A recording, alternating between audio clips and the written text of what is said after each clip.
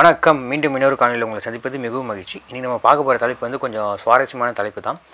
நாம் தமிழிடம் பணிந்த தேமுதிக. இதை பற்றி நம்ம பார்க்கும் போதும் கொஞ்சம் வரலாறை வந்து பின்னோக்கி பார்த்தா நல்லாயிருக்கும் அப்படின்னு நினச்சேன். அதே மாதிரி தான் வந்து கொஞ்சம் பின்னோக்கி பார்க்க போகிறோம் அது மட்டும் இல்லாமல் ஆதன் தமிழ் மீடியா அப்படின்ற யூடியூப் சேனலில் வந்து ரவீந்திரன் துரைசாமி அவர்கள் ஒரு பேட்டி கொடுத்துருந்தாரு. அதில் வந்து நாம் தமிழிடம் வந்து பயந்துருச்சு தேமுதிக அப்படின்னு சொன்னார்.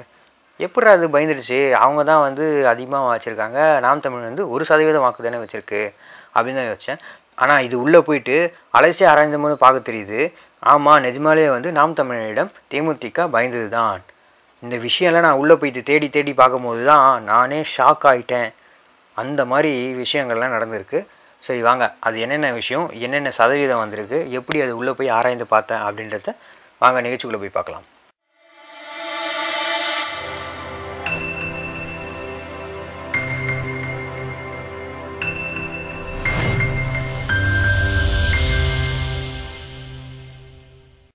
தேமுதிக பணிந்தது அப்படின்றது எப்படி நான் சொல்கிறேன் அப்படின்னு பார்த்தீங்கன்னா முன்னாடி வந்து ரெண்டாயிரத்தி பதினொன்றில் வந்து அதிமுக கூட்டணியில் தான் வந்து தேமுதிக இருந்துச்சு.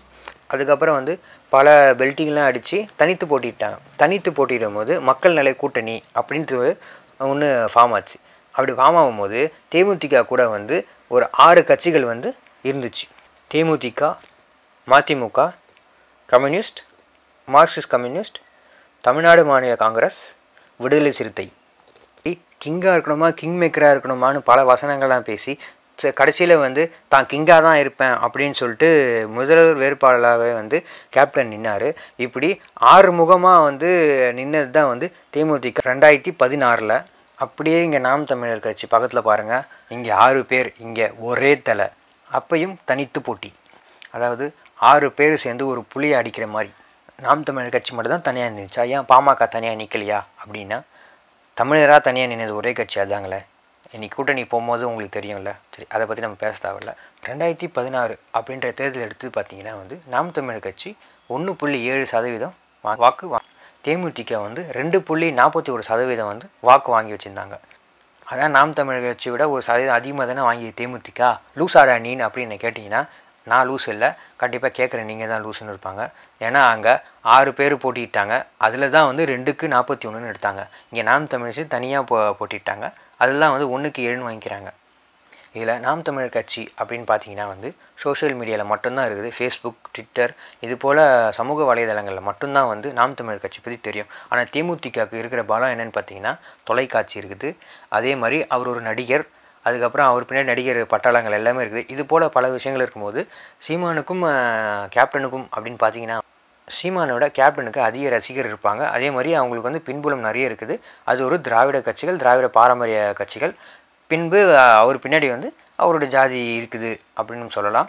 ஆனால் சீமானிடம் வந்து சீமானிடம் ஜாதி இருந்தாலும் அங்கே வந்து என்னென்னா தமிழர் தமிழர் தமிழர் அந்த ஒரு நிலை தான் இங்கே வந்து மிக மிக முக்கியம் என்ன அப்படின்னு பார்த்தீங்கன்னா பிரபலம். அந்த ஃபேஸ் வேல்யூன்னு சொல்லுவாங்க பார்த்தீங்களா? அந்த ஃபேஸ் வேல்யூ கேப்டன் நிறைய வந்து கதாநாயகனாக பார்த்துருப்பாங்க. ஆனால் சீமனை வந்து குறிப்பிட்ட காலத்தில் தான் கதாநாயகனாக பார்க்குறாங்க.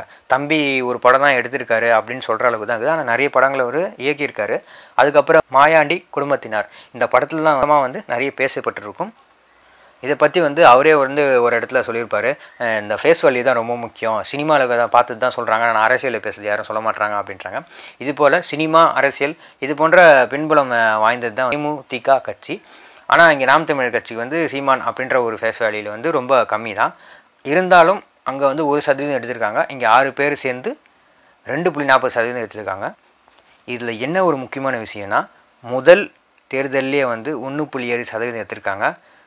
திராவிட முன்னேற்ற கழகம் வந்து ஆயிரத்தி தொள்ளாயிரத்தி ஐம்பது காலகட்டங்களில் வந்து முதல் தேர்தல் சந்திக்கும் போது வாக்கு வந்து கணிசமாக வந்து இந்த அளவுக்கு கூட வரல அப்படின்னு சொல்கிறாங்க அது எந்த அளவுக்குன்னு தெரியல. ஏன்னா நம்மலாம் எல்லாமே நைன்டிஸ் கிட்டு தானே. சரி ரெண்டாயிரத்தி பதினாறில் வந்து ஒரு தேர்தல் மூணு தொகுதியில் இருக்கிற தேர்தல் மட்டும் தள்ளி வச்சு அடுத்த மாதம் நடத்துனாங்க.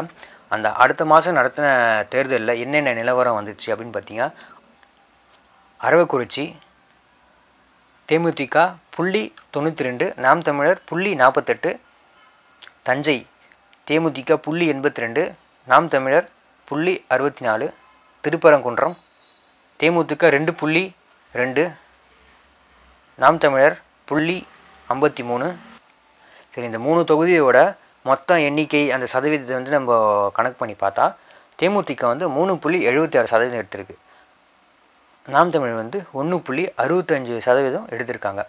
அப்போ கூட வந்து தேமுதிக தான் லீடிங்கில் இருக்காங்க.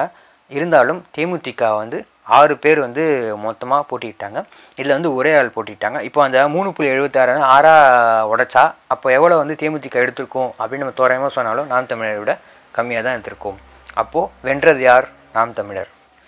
இந்த சதவீதம் எப்போன்னு பார்த்தீங்கன்னா வந்து அம்மையார் ஜெயலலிதா இருக்கும்போது நாம் தமிழருக்கு வாக்கு நிறைய வந்துச்சு அப்படின்னு சொல்லலாம். சரி.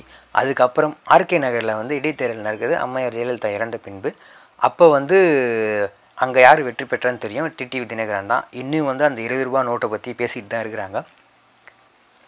இங்கே தான் ஒரு ட்விஸ்ட்டு தேமுதிக போட்டியே இங்கே போடலை. ஆனால் இங்கே போட்டி போடுறது யாருன்னு பார்த்தீங்கன்னா நாம் தமிழர். அதுவும் மூன்றாவது அணியாக வந்து வந்திருக்காங்க. இப்போ சொல்லுங்கள் அந்த ரெண்டாயிரத்தி பதினாறில் பயந்து தானே இப்போ வந்து போட்டியிடாமல் தேமுதிக விலகி நின்றுது. அப்போ இங்கே வெற்றி பெற்றது யார்? நாம் தமிழர். அப்போது நாம் தமிழரை பார்த்து தேமுதிக பயந்துச்சுன்னு தானே சொல்லுவாங்க. எப்பயுமே ஒரு பழமொழி இருக்கும். பொய் வந்து என்றைக்குமே வந்து நிலைக்காது. உண்மை தான் வந்து நீண்ட கால் நிலைக்கும். நிறைய திராவிட கட்சிகள் வந்து கூட்டு சேர்ந்துட்டு இருக்காங்க. ஆனால் தமிழ் என்றைக்குமே வந்து தனித்து தான் நிற்கும். அது மாதிரி தான் வந்து திராவிட மொழிகளில் தமிழ்னு சொல்லி அடக்குனாங்க.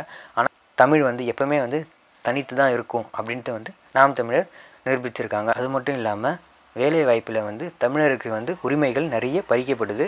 உங்களுக்கு நான் உங்களுக்கே தெரியும் ரயில்வேயில் வந்து எந் எந்த மாதிரி ஒரு திருட்டுத்தனம் நடந்திருக்கு.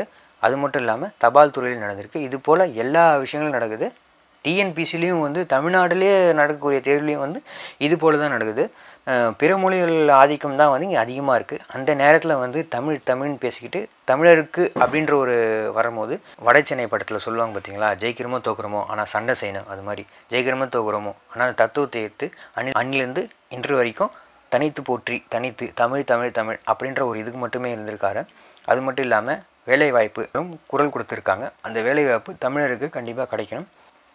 சிலிக்கட்டும் விவசாயம் சீர்பற்றும் நிர்வாகம் மக்கள் அனைவரின் முகத்திலும் பொலிக்கட்டும் பொஞ்சிருப்பு. நன்றி.